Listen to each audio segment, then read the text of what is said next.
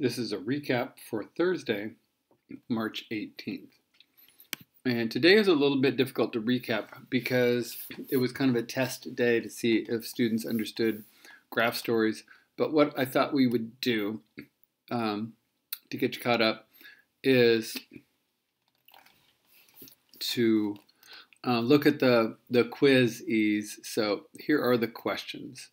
And um, the question on this one is what happened during C to D, from C to D. So if we look over here on um, the left side, we see the speed in meters per second. And on the bottom, we see seconds. So from C, which is 13 seconds, to D, which is 16 seconds, the speed was, was zero. So whatever this object was, it wasn't moving. So the answer on this one was that it was not moving. Um, here is the next question. It says the distance time graph shows shown represents the motion of a car. Which of the following graphs represent a car at constant speed? And I'm going to actually pull out this to take a look at this. So I want to use my highlighter and we'll use red. And so time is going this direction, like that. And distance is going in this direction, like this. So distance is going like this. So this would be at this point right here on this one at zero times zero distance. And if we can pick a point here, this could be a certain amount of time like 10 seconds and a certain distance like this, um, maybe uh, 100 feet. And it just keeps going steadily. As time goes on, the distance just keeps increasing. So this is a good possibility. This one, uh, the driver isn't making any new distance over time. It, it isn't going up. So this is, if they are at a distance of 200 feet at time zero, at the next, like five minutes from now, they're still there, so they're not moving anymore. So it's not this one. This one, uh, they slowly come to a stop because you see that distance at some point, it never gets higher than that. So they've stopped. So somewhere along here, they stop. And this one, the distance is actually getting less over time. So the answer on this one was A.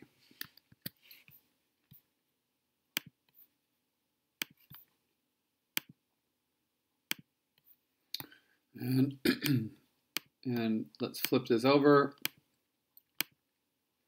Graph A. Okay, which runner was faster? This is a good one to also look at. And what's really important on this, I'm going to see if I can pull out a line. I don't usually use a line tool, but I do want to make a, a red line here.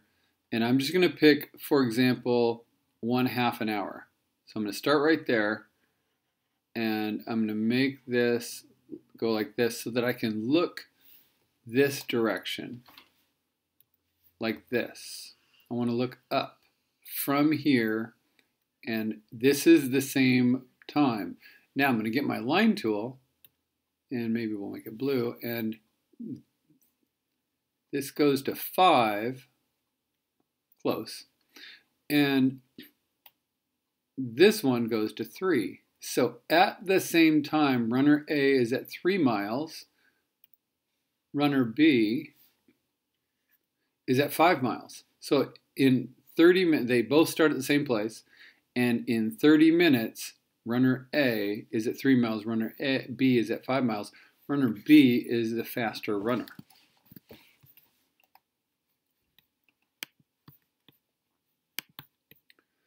and let's check that.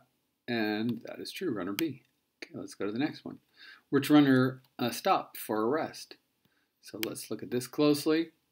And this one has an important place right here at time,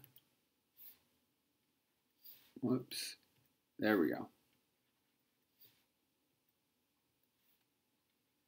At time eight, so we look down there at time eight, at eight seconds, and then also at 13 seconds. So this is an important place because we look this direction and see the distance hasn't changed.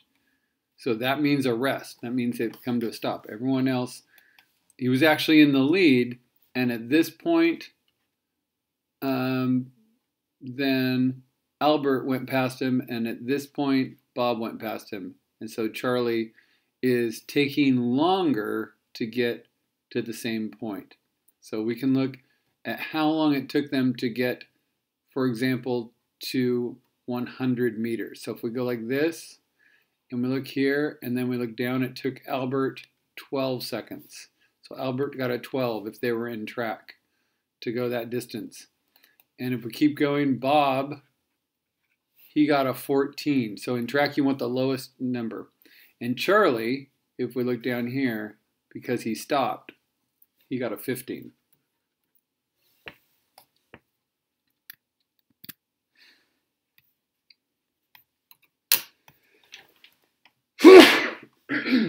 Excuse me. All right, let's look at the next one. So let's see which runner stopped for a rest, and we think it was Charlie, and it was Charlie. All right, next problem. It says William shot an arrow in the air. The graph shows the height and uh, the height and distance the arrow traveled during flight. So this one is a little bit tricky because we're used to time going this direction and this is distance. So as the distance gets farther away, I assume that that is from William. So if it's 10 feet from him, 20 feet, 30 feet, on and on. So it starts at zero distance and at zero height. And he shoots it up in the air, and the height keeps going up until it gets a certain distance away, and then it starts to go back down. So we really have to think about this going this direction. so the height of the arrow decreases and then increases. Um, that doesn't happen. The height of the arrow increases and then remains constant. That doesn't happen because of gravity. The height of the arrow increases, then decreases. The height of the arrow decreases, then increases, it remains the same. That's not correct. So it should be H.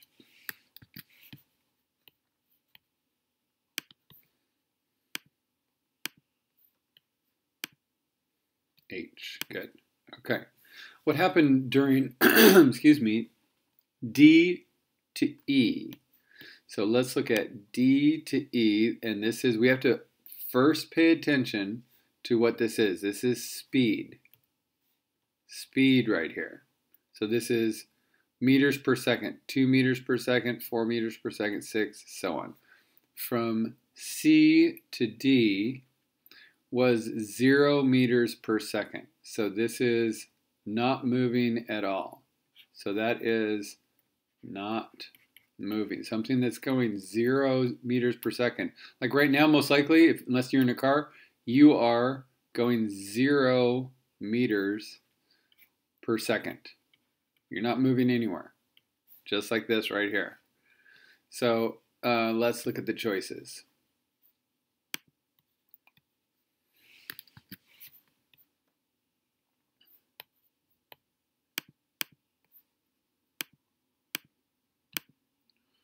Increase speed at a constant rate. Okay, so I was looking at the wrong letters.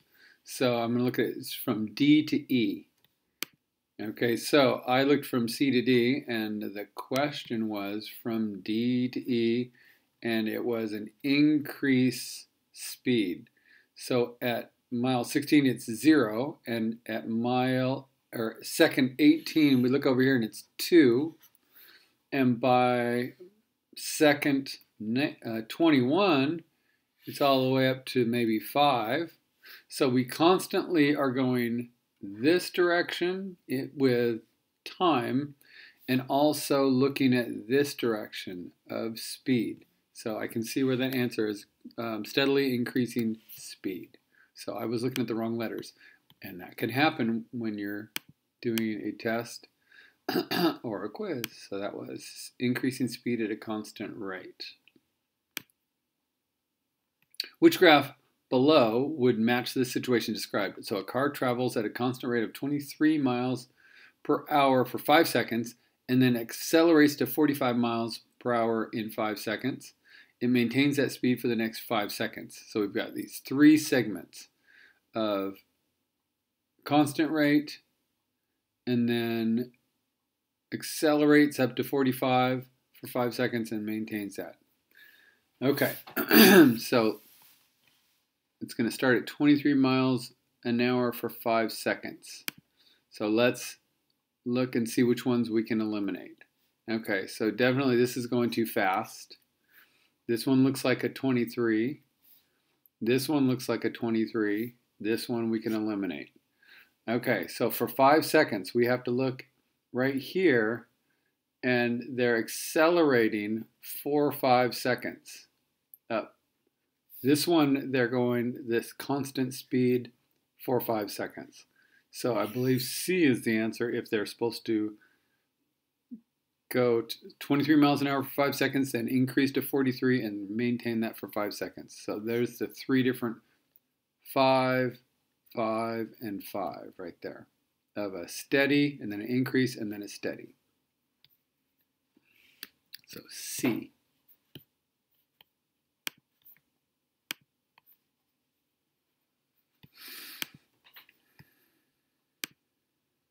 C is the correct answer. How much does it cost to have your lawn mowed for two hours? Oh, this is a good question.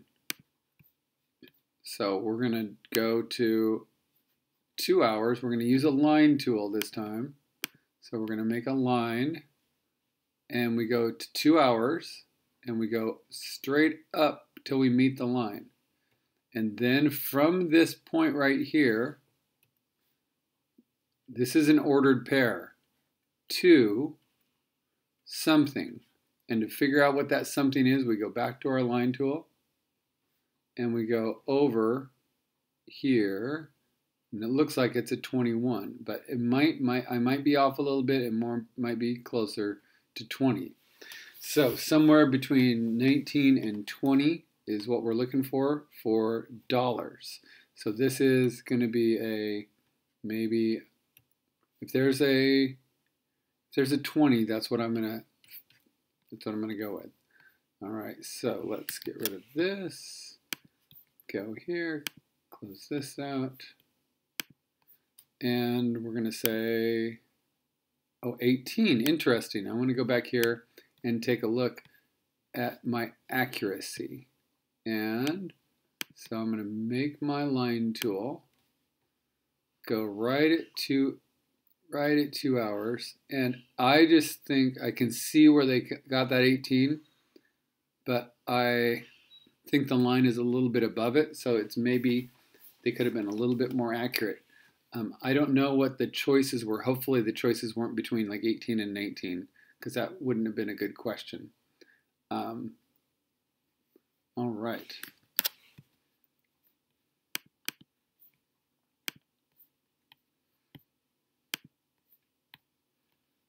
All right, let's go to the next question. Describe the bus's motion from A to B. From A to B. I'll make sure I get this one correct. Okay, so I'm going to use a highlighter on this. And I'm going to highlight the section from A to B. And then I'm going to use line tool and go from A, whoops, not the text, the line tool. And go, A is right around five seconds and it's 10 miles an hour. And at 10 seconds, it's still 10 miles an hour. This is 10 miles an hour, so it's going at a steady rate. It's been going steady for five seconds, same exact rate. It hasn't sped up, hasn't slowed down. So that's what we're going to look for in the answer.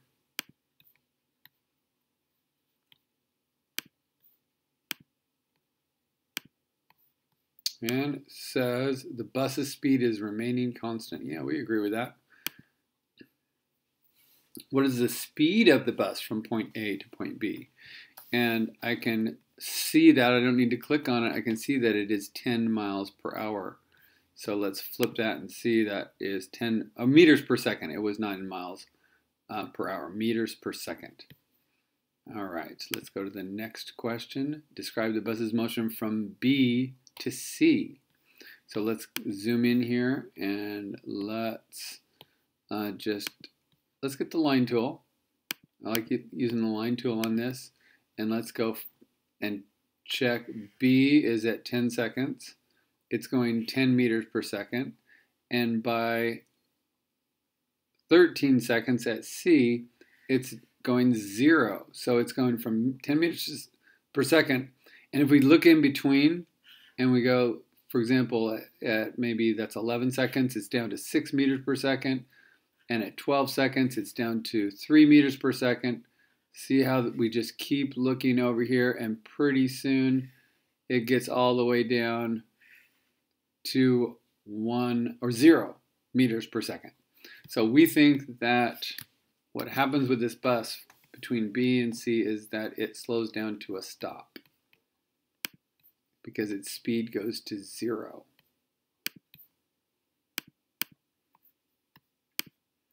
And the bus is beginning to slow down and in fact comes to a stop.